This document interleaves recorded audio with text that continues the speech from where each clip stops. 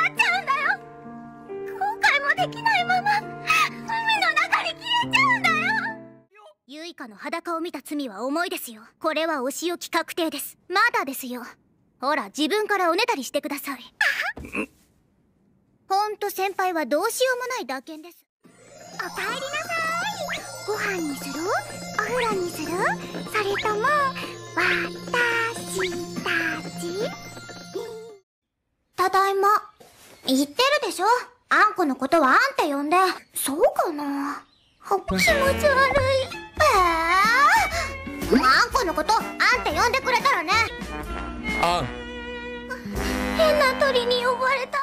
司会進行を務めます。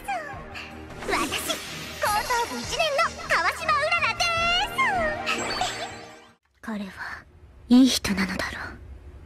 でも浮かれてはダメだ勝手に浮かれてまた勝手に傷ついては同じことの繰り返しだ。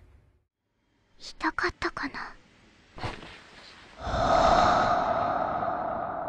辛かったのかな？わらわたちが何かしてあげられることってなかったのかな？な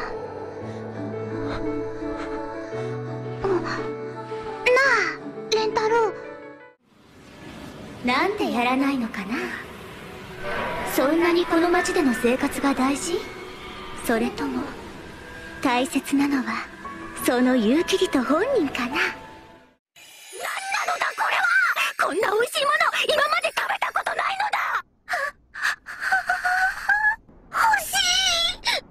欲しい！だがしかし負けを認めるなど。どこへ行くの？って三坂美坂は質問してみたり。どこへも行かないよね。って三坂美坂は確認を取ってみる。デブ取りって言った。槍の人嫌いあので